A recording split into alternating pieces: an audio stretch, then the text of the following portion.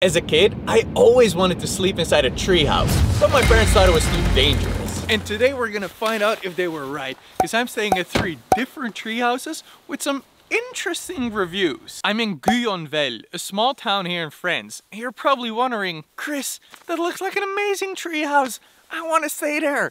Well, that's what I thought too, until I read this review. A leak in the ceiling camouflaged by a rain screen, no mood lights, only a large dirty standing light bulb, exposed cables, a garbage bag in a seal as a cabinet, the dry toilet exists, and so on. I had no idea what that dry toilet comment thing was about until I read Gerald's review. Very quiet and beautiful place. The cabins are really beautiful and well made, but the problem is elsewhere. A toilet in the cabin that thought was dry, but no, there was a simple garbage bag. So doing these needs in a garbage bag is really not very hygienic. So that means I have to do everything in a garbage? Great concept, but a few hiccups about cleanliness. The bathroom is outdated and dirty and the sheets have not been changed. We had gum under a pillow. Now that's exactly why I always bring my own pillow and I also brought a sleeping bag. Let's go inside. This is actually a lot higher than I thought. All right, here we go. Oh, damn. The shape of this treehouse is so cool. And there's even some sort of basement right here. oh, check that out a little heater to keep us warm. Check out these little chairs and this mini table. I hardly fit in here. But from down here, you do have a little bit of a view outside. Now, Romain was definitely right about the bad lighting here. So luckily, I came prepared. Let's go up to the bedroom right here. The bed is very soft, very comfy. But we're gonna find out if there's gum under the pillow.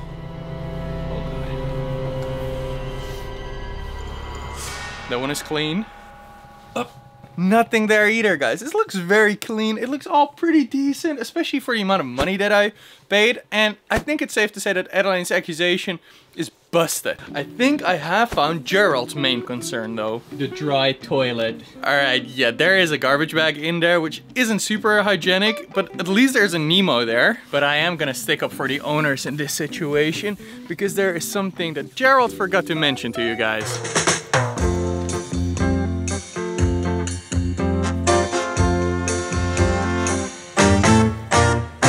There's a toilet and a shower literally five minutes away from the treehouse. This is just like camping, but then in a treehouse with an amazing view. But the best thing about this video is that treehouse number two and three are a lot more luxurious. Another accusation from Romain is that there's a leak in the ceiling. But I don't see anything like that. So far, I am loving this place. And the owners even offered to make me dinner. Amazing, that looks great.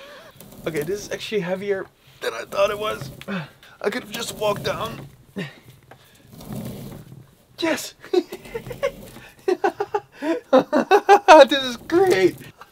I got a basket with food.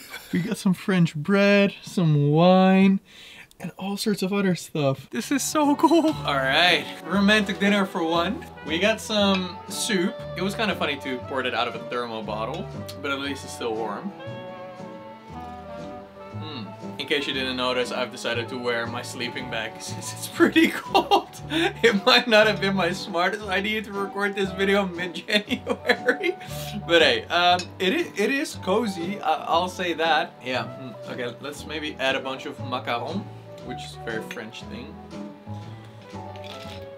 I have actually read a couple of reviews about the food and they were kind of right because this is not really French food. It's not that great, especially because I think this massive sausage thing is German. Like this is, how is this French? Oh, that smells pretty bad, I can't lie. I really hope the food in the more expensive treehouse is gonna be better. And I didn't even know what this is, but The owner did give me some candles, which is kind of wild since this is a treehouse, but if that's safe, all right. And he also gave me these breads and genuinely just listen to this. That sounds good, right? Well, let me tell you, it, it feels like, like I'm breaking a brick right now. This is so hard. This is not a real French baguette. This thing needs to be at least like four days old. Like, what is this? But we are in France, so there's not much they can possibly do wrong when it comes to red wine. Yeah, no, this is this is not red wine. What is this? This is super light. This is sweet red wine. When I asked for some red wine, I envisioned a nice Merlot or something, a Pinot Grigio or whatever, like something a bit better than this. Now I also got this chocolate mousse, I think it is. Alright, that's mustard. I thought it was dessert. Okay, um, no dessert guys, but I am excited for sunrise. Ugh. That was an interesting night. I kept on hearing noises outside, probably animals or leaves and the wind, which made me a little bit paranoia. But it was kind of fun, except for the fact that it was really cold. Heater thing is making so much noise that I can't sleep. But if I turn it off, then it's too cold to sleep. Here we go again for breakfast.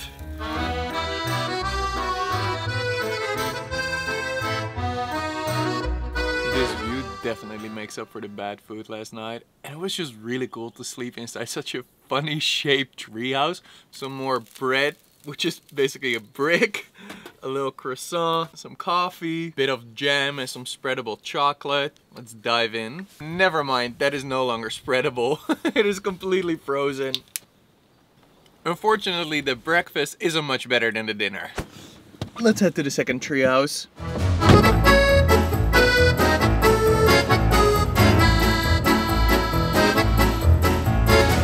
I'm now in Carignan and this treehouse is quite literally in the backyard of someone's house. This town is a little bit more up north in France, which also explains the first review. Unfortunately, we had bad weather for the whole weekend, but with games, champagne and good rain gear, you can have a great time for yourself. Now that is still relatively positive. Unlike Orphée, Orphée, or, or I, I don't know how to pronounce that but her review wasn't great. A bit of a shame for the bath water because it's not possible to fill up the pretty bathtub.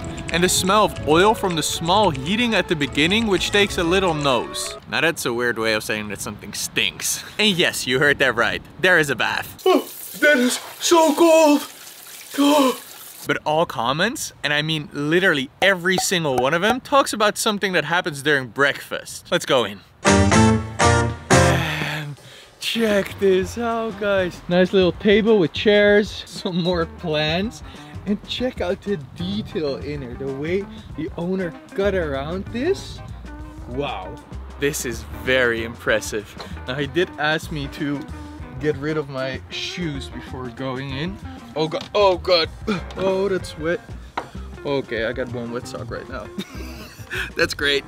oh wow, this is a lot cozier than the first treehouse. A table, a microwave, a little two-seat bench, still some Christmas decorations, fridge, a coffee machine, I need that. Oh, even some stuff for spices. Little toilet, with actual water in there. I'm not even used to toilets with running water anymore after the past 24 hours. Unfortunately, Orphée's review was right because the owner told me that I can't fill up the bath higher than probably this.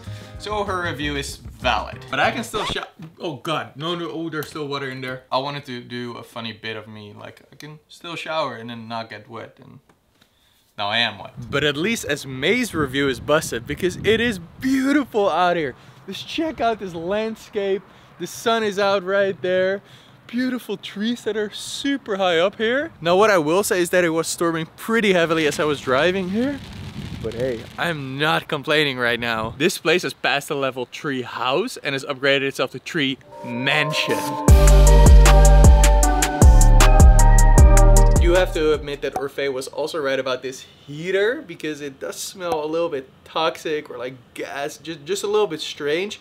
But besides that, this tree mansion is fantastic. Oh, this bed is so much more comfy than the one I slept in last night. Now you're probably wondering, Chris, is this host also gonna serve you some sausage with mustard? Well, I didn't want to risk that, so I dropped by the holy supermarket of all supermarkets here in France. My parents would always go here when I was little because they had so many different foods there. Now this is definitely a French thing to do, especially with the cheese, but it is not a very nutritious meal. I decided to get back to the supermarket and get this beauty.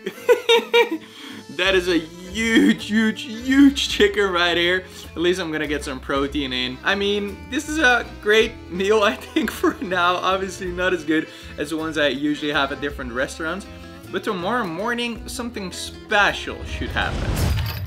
Here it is, the best treehouse breakfast imaginable. Literally all the reviews were super positive about this. Daniel, the idea of breakfast is excellent. He delivers it in a basket without disturbing. Alize, the place is quiet and calm and the housing is well arranged and heated. Great breakfast. Ashley, breakfast is delivered every morning and is very tasty. Adrian, positive point for the breakfast brought in the morning. I got a little pain au chocolat, a massive baguette that I'm definitely gonna take with me on the road, some orange juice because I gotta get some vitamins in this trip, and obviously some jam. Also, for anyone wondering, the green sweater is for sleeping and breakfast, and the white sweater is for looking nice and traveling. First bite of the pain au chocolat. That's what it's supposed to taste like. At least this baguette is not trying to break my teeth. This is so much better. In general, I must say this treehouse is just amazing. I highly recommend anyone to stay here. I love the fact that it's actually in someone's backyard. The bed slept very nice. Absolutely amazing experience. Five out of five stars. I'm gonna try to clean myself up a little bit in this tiny bathtub like I hardly fit in here. Now obviously at its core this channel is all about traveling so there is one place I want to show you guys before heading to the last treehouse. Welcome to Saint-Dié-des-Vosges. This place is only 10 minutes away from the treehouse and I just felt a little bit weird not showing you guys at least some culture here in France. This building behind me is called Tour de la Liberté, which means the Freedom Tower. And it basically symbolizes a white bird. And the meaning behind that is that all the people in the world, no matter people's religion or their beliefs, actually want freedom. And with everything that is going on in the world right now, I definitely think that's an important thing to keep in mind. And now it's time to have some French classic food. Oui, s'il vous plaît. Ah, mais là, c'est fini. C'est fini Ah oui. Boulangerie. Boulangerie, Cassis repas aussi. All right, no, that sucks. Oh my god. I was really hoping for some nice French food right now. All right, uh, let's see if this boulangerie is decent. Apparently all kitchens close around 2 here in France and then they reopen around 7.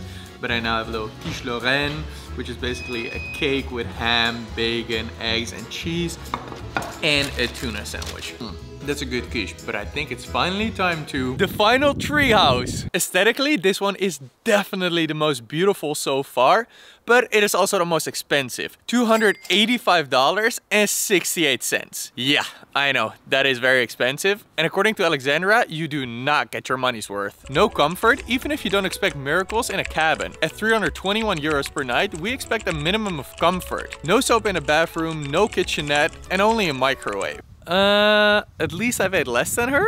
We are very disappointed with our stay. A very unpleasant welcome by the host's father, an unheated cabin when we arrived in the middle of winter, and a lot of time spent trying to figure out how to get it started. Once started, we realized it made the sound of a hairdryer. No soap. That doesn't sound very promising. I should have brought my own soap, I think. But I got an issue that's even worse. I can't even get in. The hosts are not responding to me. Hi, I am supposed to spend the night at the cabin, but there is no one here. This is my third time calling and I have no idea how to get in. Please call me back. Thank you, I appreciate it. So yeah, that uh, is not great. I think I'm just gonna wait inside my car until someone shows up, I think. All right, the owner actually just messaged me saying that he has someone here at the property who should come and give me the key. But then a very nice lady over there, I'm not gonna film her, it's a bit rude, told me that I can just give it a shot, that it's open, the cabin. So we're gonna find out. But I've been sitting in my car for like 30 minutes now, so it's definitely time to check out this cabin. Oh, check out that view though. And I also just came to the realization that there's two cabins. I thought it was one. The photo on Airbnb is a little bit misleading in my opinion. A big one for like eight people and a smaller one for two to four, which is mine. Okay, wait, oh, oh, is it? Yes, okay, great. It is open, guys. Damn, I feel like I'm in the Hobbit right now, Lord of the Rings type of stuff. Now where is the light switch? I think this should be it. Uh, no. Wait. Oh! Time for a treehouse tour. Couch, dining table, toilet, bathroom, shower, stairs to the bedroom, the bed, which isn't super comfy. You guys can hear that, right? That's not good, I think. There are a couple concerns about this place. First being that it's too expensive. And I agree. I only paid $124.20 for the previous treehouse, which was a lot better in my opinion. Another being that there's no soap. And I can confirm Indeed, no soap. Other people also claim that the cabin isn't heated during winter, which I can confirm, like, I think there should be heating somewhere, but I don't know how to turn it on since there wasn't even a host to welcome me here, and that person hasn't even showed up. It's been over an hour now.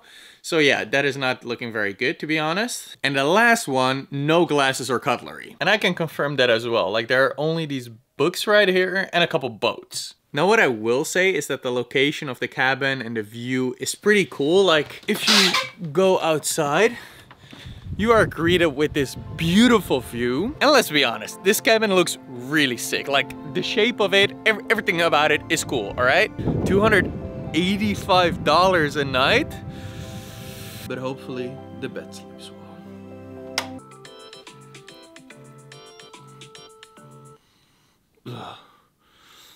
It did not. This mattress is just way too thin and it felt like I was sleeping on wood. But I did end up getting a really nice French meal that I was looking forward to in the city here.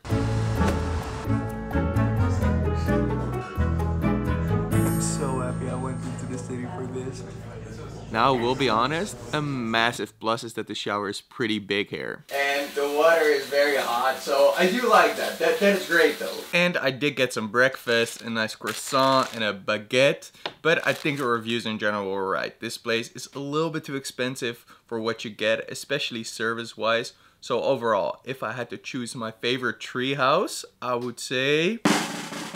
Number two! the treehouse was super cozy, I really enjoyed the bathtub, and the breakfast tasted amazing. But something that actually tastes even better is the number one pizza in the world. Go and check that video here right now.